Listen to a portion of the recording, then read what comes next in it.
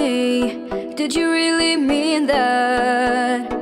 I think it could end in a different way Show me, was it really worth it? Did you even know